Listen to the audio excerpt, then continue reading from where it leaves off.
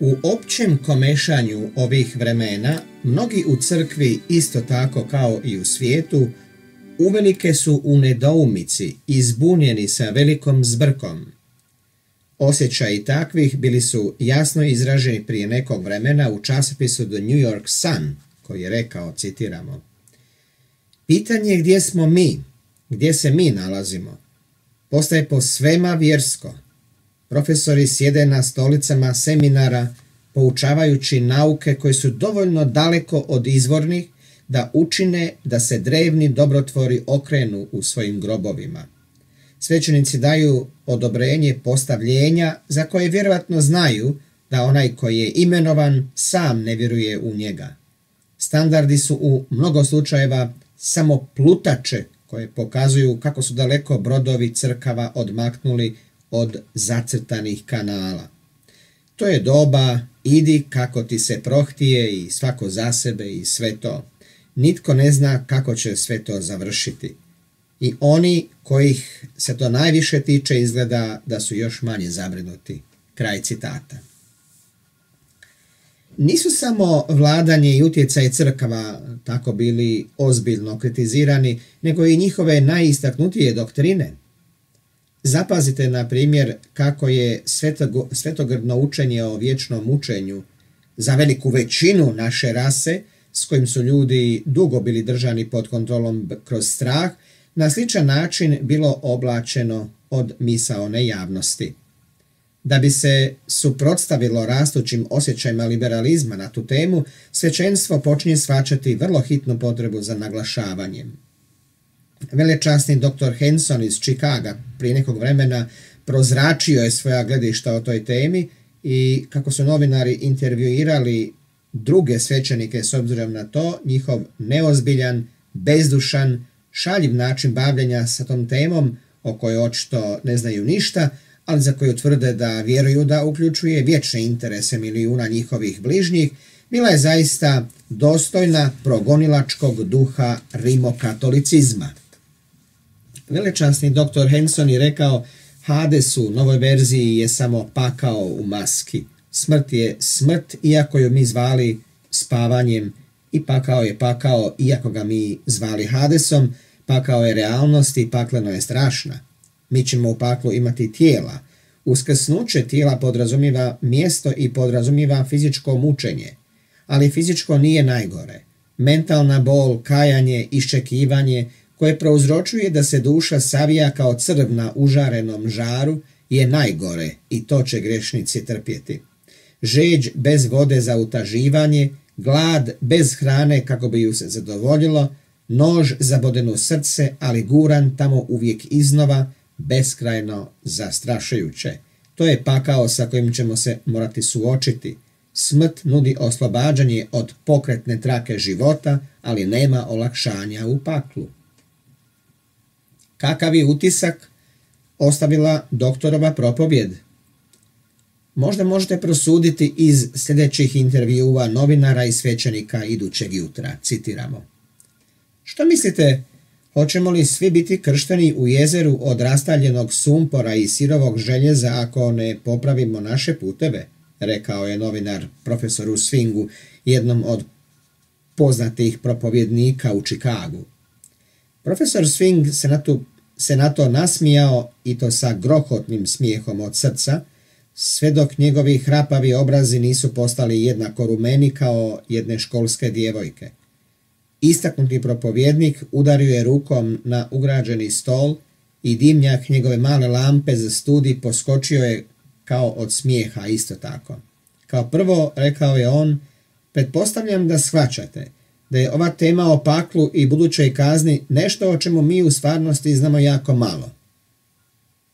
E sada, moja metoda da uskladim sve što je u Bibliji jeste da ju produhovim. Moja ideja je da će se kazna određivati u skladu sa grijesima, ali kako će idući svijet biti duhovan, tako i kazne i nagrade moraju biti produhovljene. Velečasni Van Ausdale nasmijao se kad je pročitao izvještaj o propovjedi doktora Hensona i rekao je pa on mora da je u pravu. Poznajem doktora Hensona neko vrijeme i glasao bih za njega zatvorenih očiju. Mi priznajemo svi od nas da postoji pakao ili mjesto odmazde i to kombinira sva svojstva koja mu je dodijelio dr. Henson. Dr. Ray je vidio tiskanu propovjed i razmišljao je da je dr. Henson izrazio ista gledišta koja bi i on sam izrazio o toj temi. Kongregacionalistički svećenici sakupljeni na Grand Pacific redovnoj sjednici sa zatvorenim vratima i sigurno osiguranima priznali su novinaru večernjih novosti koji je nakon što je sastanak bio završio istaknuo pitanje jeste li čitali ili čuli o propovidi doktora Hensona o paklu koji je propovjedao prošle večeri. Zainteresirani gledatelj tijekom sastanka bio je dr. Porter iz Pekinga, Kina. On je ustao rano ovog jutra i pročitao je u novinama na brzinu propovjed doktora Hensona. On je rekao, ja ne poznajem doktora Hensona, ali ja smatram da su osjećaji koji mu se pripisuju ispravni. Preko u Kini ja neću propovijedati o sumporu i stvarnoj fizičkoj muci, niti ću reći da će pakao biti mjesto gdje će sve patnje stvarne prirode ustupiti mjesto intenzivnoj duševnoj patnji i tjeskobi samog du uma, nego ću ja zauzeti sredinu koja prikazuje pakao kao mjesto odmazde, kombinirajući fizičku i mentalnu patnju i utjelovljujući načela općenito prihvaćena od suvremenih svećenika. Još jedan stranac, velečasni Spencer Bonnell iz Clevelanda, Ohio, složio se sa doktorom Hensonom u svakom detalju. Dolazi vrijeme, on je rekao, kada će trebati unaprijediti neke univerzalne ideje o paklu kako bi se sve umove dovelo u stanje ravnoteže. Velečasni Wilson imao je malo toga za reći, ali je priznao da se slaže sa doktorom Hensonom. Velečasni e, Moore izrazio je iste osjećaje. Velečasni Holmes je napisao Dr. Henson je briljantan propovjednik koji jako dobro razumije svoje vlastite pozicije i u stanju je izraziti ih jasno i izravno. Ovaj sažetak ukazuje da je on dao ljudima kao i obično vrlo zanimljivu propovjed. Njegove su pozicije u njoj jako dobro izražene. O tijelu od mesa ja ne znam. Vi ne znate? Ne. Čovjek mora umrijeti pa onda utvrditi za sigurno. Baptistički propovjednici smatraju da je Hensonova fundamentalna propovjed o paklu bila upravo prava stvar i svi i oni koji su o njoj raspravljali na jutarnjem sastanku toplo su je hvalili. Kraj citata. Novinar večernjih novosti pokazao je izvještaj o propovjedi desecima svećenika i premda su svi od njih rekli da se slažu sa propovjedi, ipak četvorica od njih nisu o tome uopće željeli raspravljati. Velečasni Everett, izrač glasnika za nedeljnu školu, rekao je u vezi gledišta koja je izrazio dr. Henson da ih općenito svi baptistički svećenici prihvaćaju. Mi naučavamo vječnu i buduću kaznu za grijehe ovog svijeta, on je rekao, ali što se tiče pravog pakla od vatre i sumpora, to je nešto o čemu se nije govorilo u bilo kojoj velikoj mjeri. Mi vjerujemo u kaznu i znamo da je teška, ali veliki broj nas svača da je nemoguće znati na koji način je dana. Kao što dr. Henson kaže, samo okrutni ljudi misle da, da pakao podrazumijeva fizičku kaznu u potpunosti. Mentalna je bol gora i to će jadni grešnici morati trpjeti.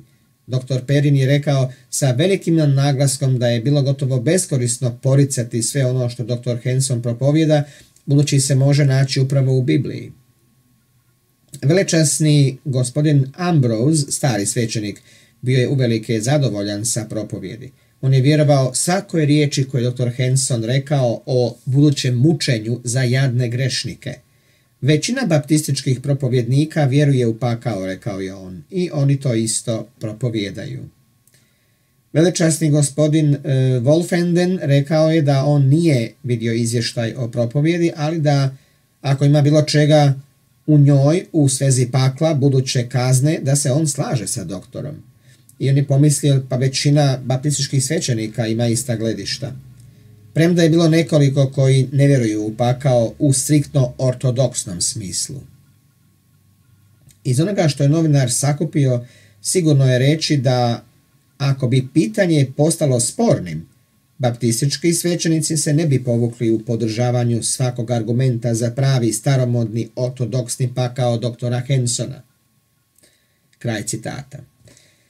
Tako je svećenstvo izrazilo svoja gledišta kako je vječno mučenje njihovih bližnjih bilo stvar jedino beznačajne posljedice, da se o njoj raspravljalo s, neozbiljnim, s neozbiljnom šalom i smijehom i objavilo kao istinu bez idjelića dokaza ili biblijske istrage. Svijet zapaža tu oholu aroganciju i izlači svoje vlastite zaključke po tom pitanju. The Globe Democrat kaže, citiramo, Dobre vijesti dolaze iz New Yorka da američko traktatno društvo predlaže da treba staviti pod znak pitanja hranu koju je pružalo posljednjih 50 godina i revidirati njihovu religiju sve zajedno. Činjenica je da je svijet nadrastao užarena i paprena jela koja su odgovarala zadnjoj generaciji i da je sasvim van snage same nekolicine da tome kontriraju. Crkve također tapkaju ugodno s ostatkom svijeta, propovjedajući toleranciju, čovječnost, opraštanje, ljubav i milosrđe. Sve bi moglo biti pogrešno i da su ta proročanstva plavo-crne vrste upravo prava stvar za nas da nastavimo vjerovati i čitati, ali tada ljudi neće i ne žele. Kraj citata.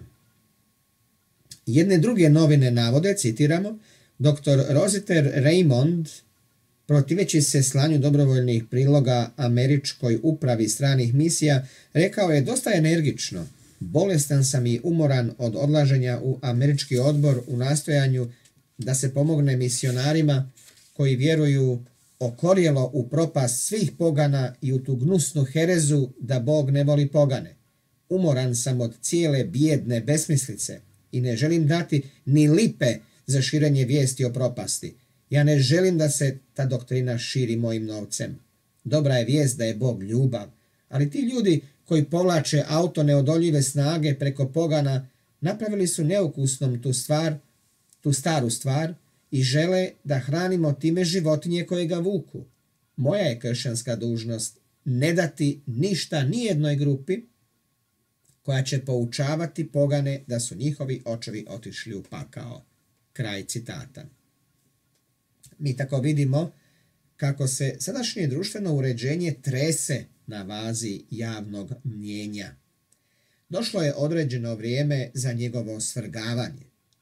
Veliki sudac cijele zemlje podiže vagu ljudskog razuma, ukazujući na utege istine i pravde i paleći svjetlo povećane spoznaje, poziva svijet da ispita i dokaže pravednost njegove odluke u osuđivanju na uništenje šuplje sprdnje kršćanskih lažnih pretvaranja.